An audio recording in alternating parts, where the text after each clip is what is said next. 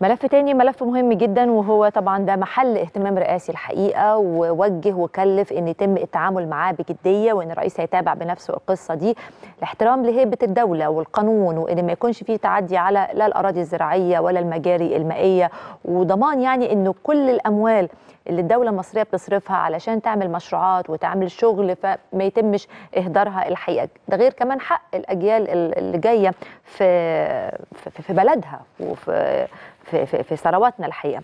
ففي ملف التعديات على الأراضي الزراعية النهارده عندنا إعلان أو بيان من وزارة الري بخصوص محصلة ما تم. آه تم إزالة 16352 حالة تعدي على نهر النيل والترع والمصارف والمحطات في إطار الحملات الموسعة للإزالات. وتفاصيل تانية كتيرة برضو بالنسبة لمباني والأحواش. يعني التعدي في, كل صوره الحقيقة للاسف الشديد. طيب معانا على التليفون باشمهندس أيمن أنور رئيس الإدارة المركزية لحماية نهر النيل بالقاهرة الكبرى، مساء الخير يا باشمهندس. أهلا وسهلا بحضرتك. خير يا فندم. أهلا وسهلا بحضرتك والسادة المشاهدين. أهلا وسهلا بيك يا فندم. باشمهندس أيمن يعني برضو قول لنا كده تفاصيل أكتر عن البيان وما قمتم به في وزارة الري.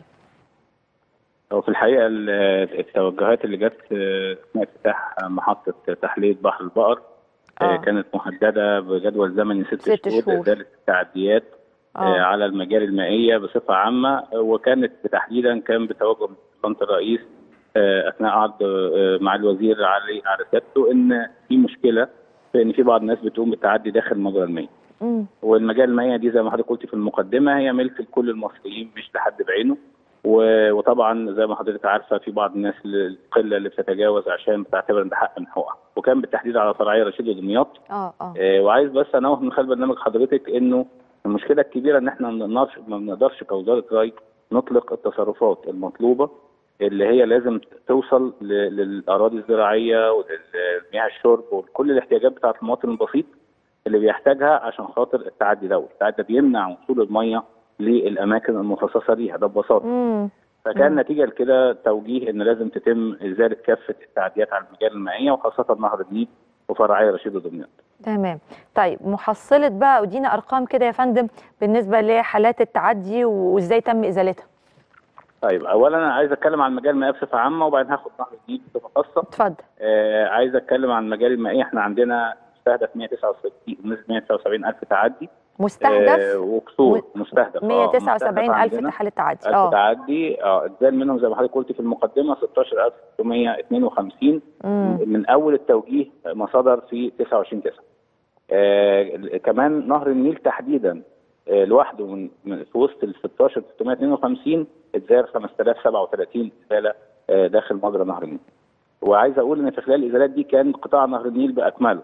وإحنا عندنا قطاع داخل وزارة الري اسمه قطاع تطوير وحماية نهر النيل مم. كان رئيس قطاع بنفسه مهندس علاء خالد بيقود حملة الازالات على فرعي رشيد ودمياط آه. مع أربع إدارات مشاركة هناك يعني الموضوع كان مش مجرد تنفيذ عشوائي لكن كان تنفيذ آه على أرض الواقع وتحت رعاية أعلى شخصية في وزارة الري في قطاع تطوير وحماية النيل. تمام تمام فالأمر كان بكل أجهزة الدولة بأجهزة المحافظة بأجهزة الأمنية بكل الأجهزة بلا استثناء بتتابع هذا التكليف الرئاسي اللي بيخص المواطن المصري اللي, منتظر نقطة المية توصل له.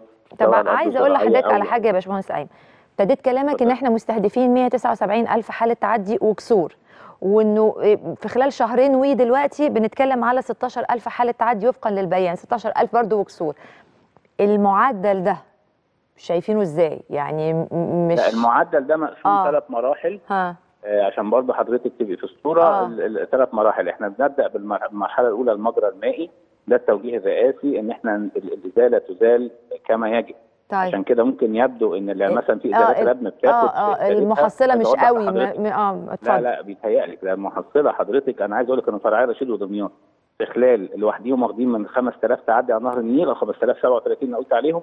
واخدين 4000 تعدي دول أعمال ردم تخيل آه. حضرتك الناس آه. ردم آه جوه المجرى المائي عشان نرفعه من المجرى المائي فده بياخد وقت طبعا خارج بياخد طبعا مجهود ووقت ومعدات ده كله على فكرة على مم. حساب المخالف يعني مش على حساب المواطن ده المخالف بيدفع تكاليف الإزالة ديت آه، على حسابه عشان يدفع ثمن إزالته.